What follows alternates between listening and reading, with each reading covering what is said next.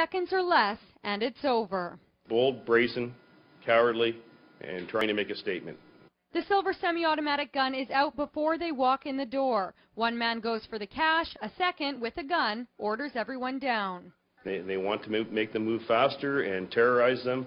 Now watch what happens when the man with the vest jumps back over the counter. 54-year-old roofer Carl Fraser takes him down. Whatever plan the robbers may have had has just gone sideways.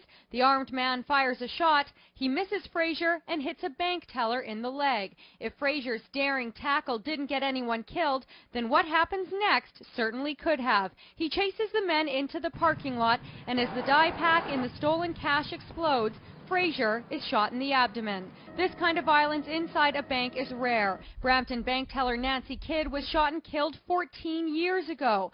At the hospital today, Fraser's wife and daughter said they were surprised by his actions. An old roofing friend saw things differently.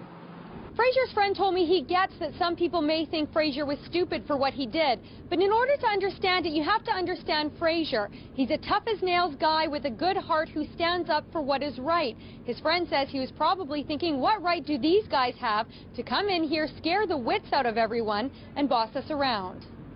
Fraser's friend said the two used to spend a lot of time in banks, and Fraser would say, nobody better rob the bank while I'm in here, to which his friend would say, just let them. To which Fraser would say, I'm not built that way. And what do police say to that? He made an instinct call on his own in the bank, and uh, we recommend that people don't do that. But ultimately, it wasn't Fraser who brought a gun to the bank. It was these two men. Now police need your help in finding them because next time, someone could be killed. Tamara Cherry, CTV News.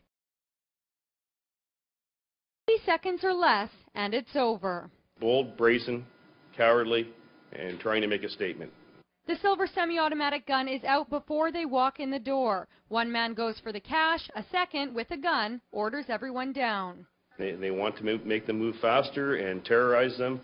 Now watch what happens when the man with the vest jumps back over the counter. 54-year-old roofer Carl Fraser takes him down. Whatever plan the robbers may have had has just gone sideways. The armed man fires a shot. He misses Fraser and hits a bank teller in the leg. If Fraser's daring tackle didn't get anyone killed, then what happens next certainly could have. He chases the men into the parking lot, and as the dye pack in the stolen cash explodes, Fraser is shot in the abdomen. This kind of violence inside a bank is rare. Brampton bank teller Nancy Kidd was shot and killed 14 years ago.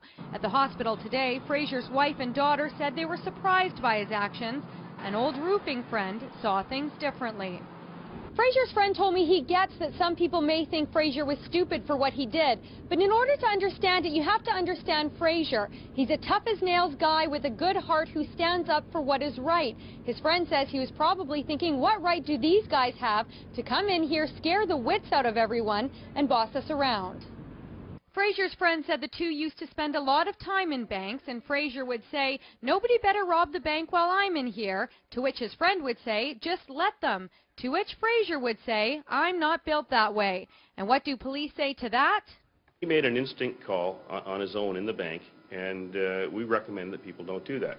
But ultimately, it wasn't Fraser who brought a gun to the bank. It was these two men. Now police need your help in finding them because next time, someone could be killed.